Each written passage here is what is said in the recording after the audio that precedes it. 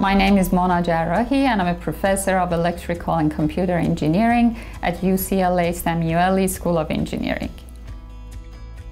When I was a kid, I was always fascinated by how electronic gadgets like computers and mobile phones advanced year after year and improved our quality of life. And I was always interested to be a part of that journey to make an impact.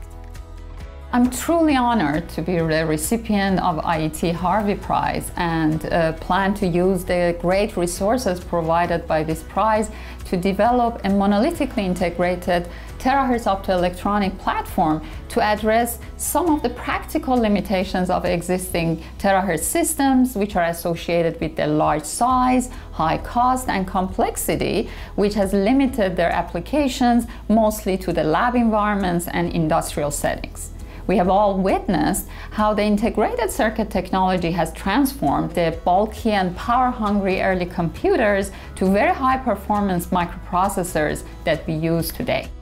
My students and I are very excited to bring a very similar technological breakthrough to the terahertz field to transform the existing terahertz systems into very high performance scalable microchips that we can use in our everyday life for various applications like self-health monitoring, quality control of drug and food products, as well as high data rate communication.